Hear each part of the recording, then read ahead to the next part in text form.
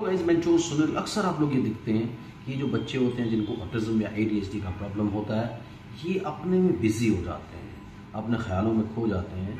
तो आप ऐसा क्या करें कि अपने ख्यालों में ना खोएँ, ज़्यादा से ज़्यादा इन्वॉल्व रहें? इसके बारे में बात करेंगे। चैनल को सब्सक्राइब कीजिए, लाइक कीजिए, शेयर कीजिए, पूरी दुनिया में फैला दीजिए। मुझसे कंसल्ट करने के लिए eight one six eight seven nine zero two nine nine dial कर सकते हैं। प्लस नाइन मंथ ज़रूर लगाएँ अगर आप इंडिया के बाहर से कॉल कर रहे हैं। Indian consultation one thousand India के बाहर से कॉल कर रहे हैं। Three thousand rupees account transfer देकर आपको मेरा अपॉइंटमेंट ईजिली मिल जाता है।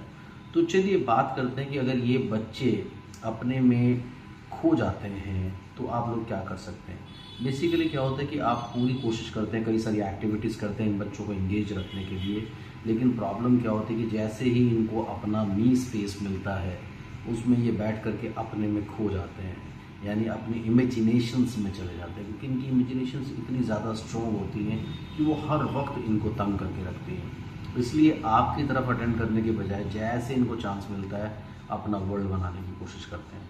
लेकिन आप ये बात ध्यान से इसका ख्याल रखें कि कभी भी, किसी भी सूरत में पाँच मिनट से ज़्यादा इनको अकेला नहीं छोड़ सकते। अकेला छोड़ सकते हैं लेकिन हर पाँच मिनट में आप इनको आवाज़ लगाते रहिए। अगर आप किसी काम में बिज़ी हैं, ज़रूरी नहीं है कि उसे साथ में आप रखें, लेकिन हर पाँच मिनट में आवाज़ लगा के उसका रिस्पॉन्स लेते रहें ताकि वो जो इमेजिनेशंस का एक चक्र व्यू बना ले, उसको आप तोड़ते रहें बीच बीच में। अगर आप उसको तोड़ते रहेंगे तो आप ये याद रखिए कि आपका बच्चा कभी भी अपना वर्ल्ड नहीं बनाएगा।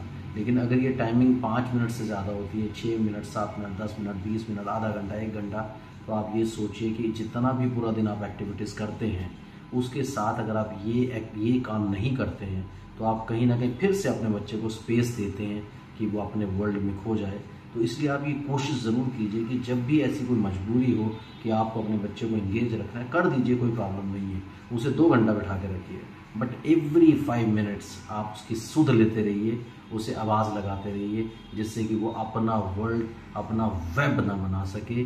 उसकी वजह से क्या होगा कि जितना आप मेहनत करते हैं, उतना आप थोड़ा सा नेगेटिविटी भी जनरेट कर लेते हैं। इसलिए कोशिश करके अपने बच्चे को इन्वॉल्व रखें, ज़्यादा से ज़्यादा अपने वर्ल्ड में रखें उसको उसको आप उसके वर्ल्ड में ना जाने दें। तो आपका सब मैक्सिमम बेनिफिट इसमें होगा। थैंक यू वेरी मच ऐसे ही कमेंट करते रहें, ज़्यादा कमेंट ज़्यादा वीडियोज़ बाय